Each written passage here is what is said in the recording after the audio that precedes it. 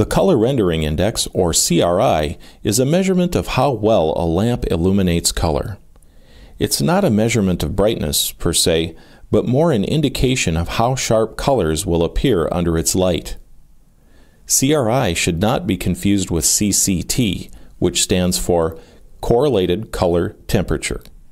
The two are related, but represent different qualities of a lamp's light. CCT is more a measurement of the light given off by the lamp itself. When you hear people talking about warm white light or cool white light, they are talking about CCT, or the color temperature of the light given off. The lighting industry uses CRI values to represent the quality of light a lamp emits, the trueness of the way colors appear under that light. CRI is determined by comparing light sources of the same CCT or color temperature against a reference source with a CRI of 100.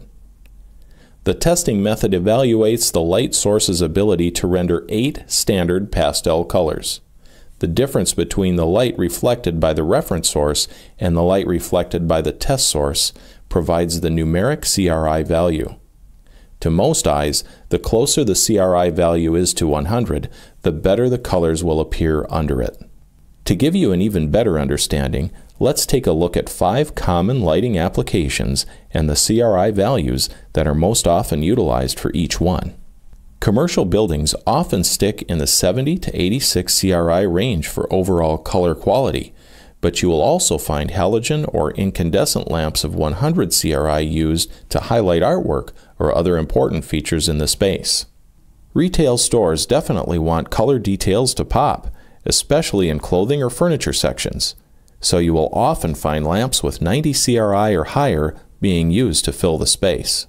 Industrial buildings often don't require fluorescent lamps with more than 70 CRI and can even go as low as 20 to 25 CRI when using standard high-pressure sodium lamps.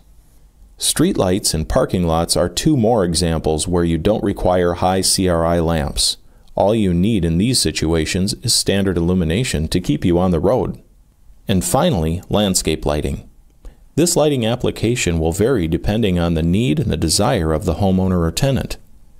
If you want to emphasize the colors of flowers or plants, CRI of 80 and above would be recommended. However, if you just want to delineate where a walkway or path is, lower CRI lamps may be used. Remember, all eyes see color differently. If you're a contractor, your customer's eyes are the only ones that matter. Field testing different lamps on site is always the best way to ensure your client will be happy with their new lighting.